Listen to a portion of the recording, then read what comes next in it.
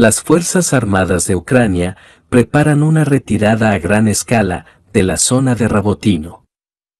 En la dirección del frente Zaporilla, las tropas rusas continúan activamente las operaciones para expulsar a las fuerzas ucranianas de sus posiciones. Esta sección del frente sigue siendo una de las pocas donde el comando ucraniano logró algunos éxitos durante la contraofensiva del verano pasado, pero los intentos de las Fuerzas Armadas de Ucrania, de expandir y profundizar sus posiciones en el área de las aldeas de Verboboye y Rabotino, no tuvo éxito.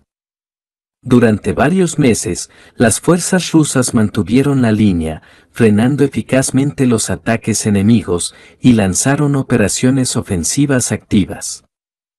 Según corresponsales militares, los grupos de asalto rusos pudieron entrar en Rabotino desde el este y el sur, lo que obligó a las formaciones ucranianas a retirarse.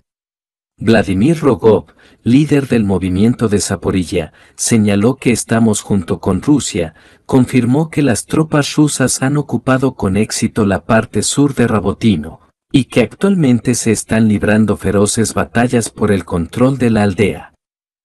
Según sus palabras, la parte sur de la aldea está claramente detrás de nosotros, allí fueron tomadas cinco plazas fuertes del enemigo, pero la mayor parte de Rabotino, pasó a la zona gris. El enemigo se instaló en la parte norte. Los expertos militares señalan que el mando ucraniano probablemente esté preparando una retirada completa de sus fuerzas de Rabotino a nuevas líneas de defensa, a pesar de que prácticamente no hay fortificaciones preparadas de antemano.